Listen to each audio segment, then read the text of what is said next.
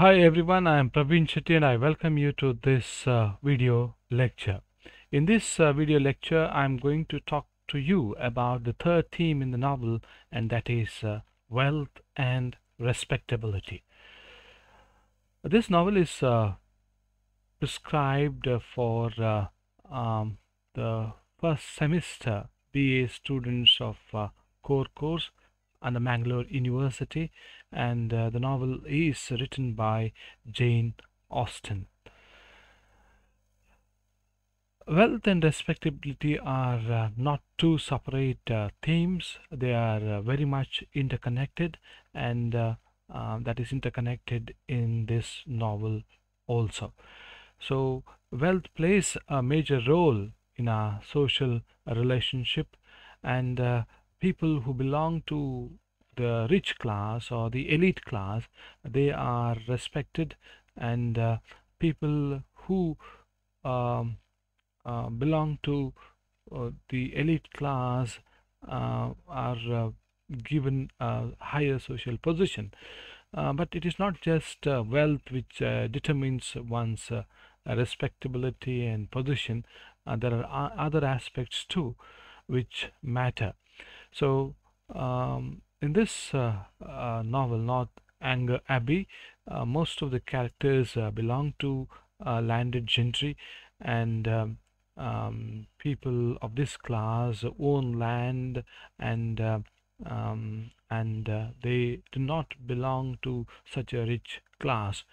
So the people of this gentry are mm, they try their or they try their best to uh, marry their children to uh, the members of the uh, richer class or the nobility.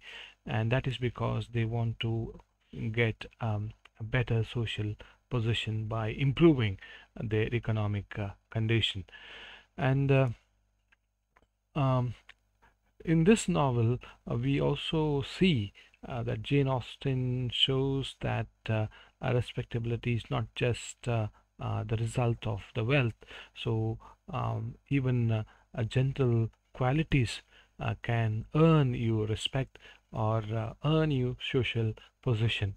Um, Catherine, Henry, and Eleanor they represent gentle manners um, and these characters attain social status uh, uh, through these uh, gentle qualities. Um, Henry Tilney, uh, he gets respect not just because he's wealthy, uh, but also because he's uh, a polite um, individual. He's very much principled and um, uh, he's very well educated. And uh, Catherine, on the other hand, she comes from the landed gentry and uh, she earns respect and uh, friendship uh, because uh, of her caring nature, uh, because integrity in her character, and also because she is honest. And we have Henry's sister Eleanor uh, Tilney, who is a very good-natured um, character, and on the other hand, we have uh, the Thorpes, um, Isabella Thorpe and uh, John Thorpe, and uh, they appear very rude along with uh, General Tilney. Uh, so they represent arrogance and hypocrisy. Um, so all these characters are obsessed with uh, money or uh, material possessions. Uh, they try to get social status, status um, by uh, um, by manipulating, by trying to uh, do something uh, mm, which is uh, not acceptable. Uh, then Isabella also treats Catherine badly in the initial stages of the novel. She wants to marry um, a person belonging to a rich class. She thinks that uh, um, James is rich and uh, um, she makes friendship with Catherine to uh, to get connected uh, with James. But uh, because of her uh, character, um, her engagement with James breaks, and General Tilney um, also treats Catherine badly. Uh, and the reason is that uh, he understands her uh, a real social position.